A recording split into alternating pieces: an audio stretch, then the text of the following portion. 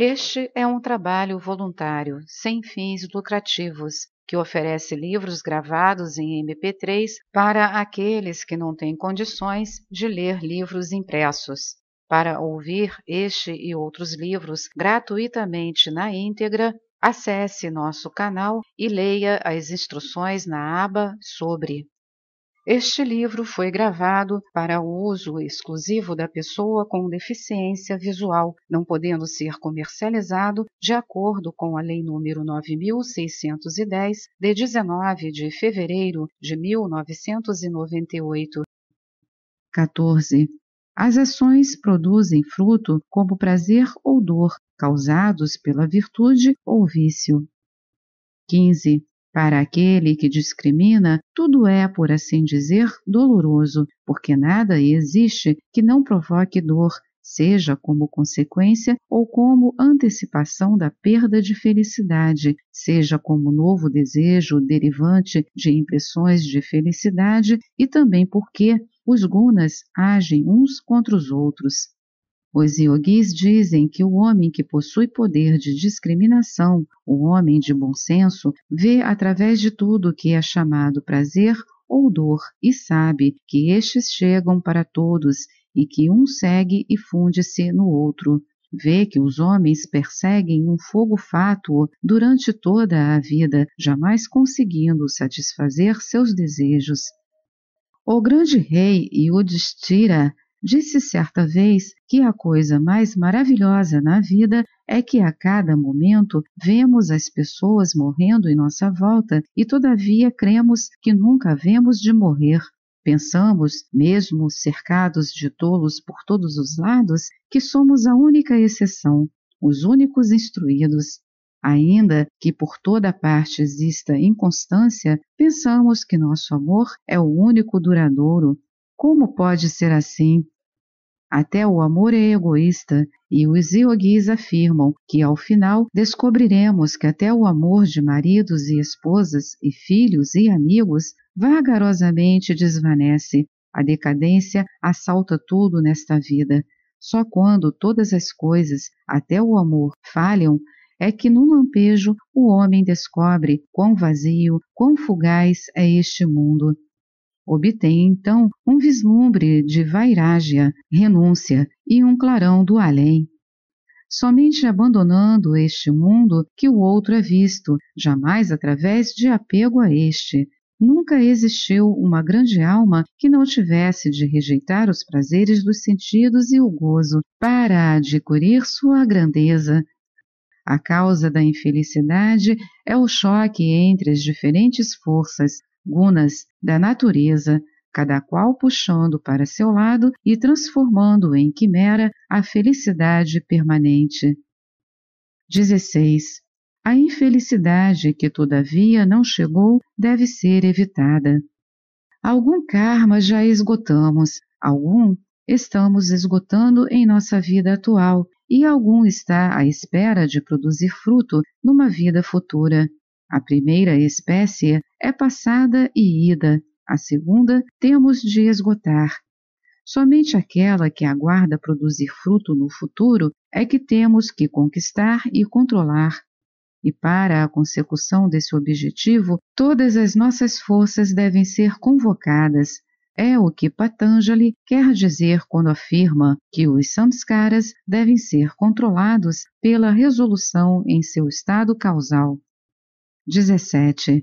A causa dessa infelicidade que deve ser evitada é a junção do vedor com a coisa vista. Quem é o vedor? O eu superior do homem, o Purusha. O que é a coisa vista? Toda a natureza, desde a mente à matéria densa.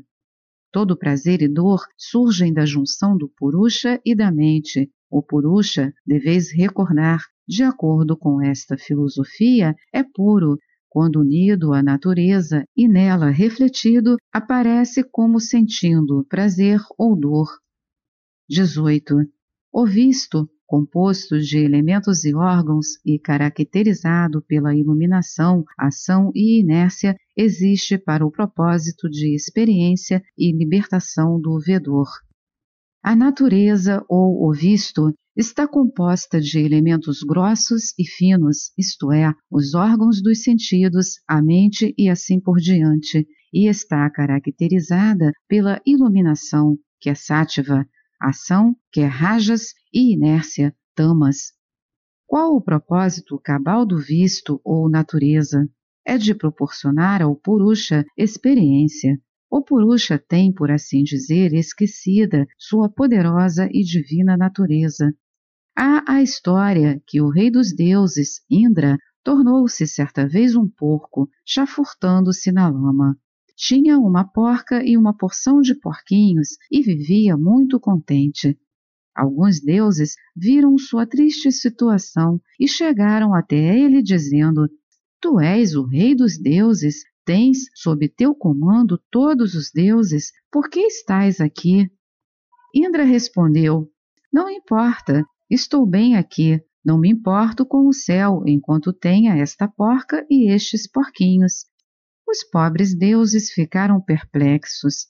Depois de certo tempo, decidiram matar todos os porcos, um após o outro. Quando todos estavam mortos, Indra começou a chorar e a se lastimar, então os deuses rasgaram seu corpo suíno de alto a baixo. Dele saiu Indra e começou a dar gargalhadas quando compreendeu que sonho terrível tinha tido. Ele, o rei dos deuses, ter se tornado porco e ter pensado que a vida de porco era a única vida. Não somente isso, mas ter desejado que todo o universo se juntasse a ele na vida suína. Da mesma forma, o Purusha, quando identificado com a natureza, esquece que é puro e infinito. O Purusha não ama, é o próprio amor. Não existe, é a própria existência. A alma não sabe, é o próprio conhecimento. É um erro dizer que a alma ama, existe ou sabe.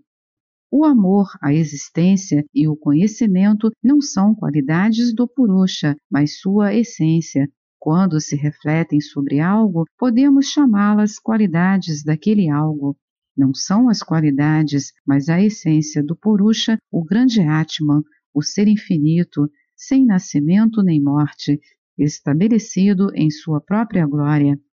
Ele aparece como tão degenerado que se lhe dissermos, tu não és um porco, ele começa a esbravejar e a morder. O mesmo se passa com todos nós nesta maia, este mundo de sonho, onde tudo é miséria, choro, lamentação, onde algumas bolas de ouro são jogadas e todo mundo se acotovela atrás delas. Nunca fostes atados por leis, a natureza jamais vos agrilhoou. É isso o que os yogis vos dizem. Sede pacientes em aprendê-lo, e os yogis mostram como, pela junção com a natureza, por sua identificação com a mente e com o mundo, o Purusha se crê infeliz. Então os yogis prosseguem mostrando que a forma de fugir é pela experiência. Tendes de obter toda essa experiência, mas apressai-vos, vós vos colocastes nesta rede e tendes de sair. Fomos apanhados na armadilha e temos de sair dela para a liberdade. Assim, obtende a experiência de maridos e esposas, e amigos e pequenas afeições. Passareis por elas a salvo, se nunca vos esquecerdes quem realmente sois. Jamais vos ouvideis que este é um estado momentâneo e que tendes que passar por ele. A experiência é o maior instrutor, a experiência de prazer e dor, mas sabei que é somente momentânea passo a passo, leva ao estado onde todas as coisas se tornam diminutas e o Purusha tão imenso que o universo inteiro parece ser uma gota no oceano e desaparece por sua própria insignificância. Temos de passar por diferentes experiências, que nunca ouvidemos o ideal. Esta é mais uma edição do canal Livros Falados Voz Humana.